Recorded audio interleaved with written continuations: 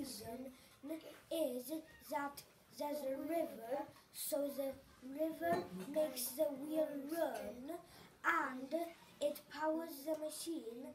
The boats and the boats can deliver cotton straight into the factory from the river.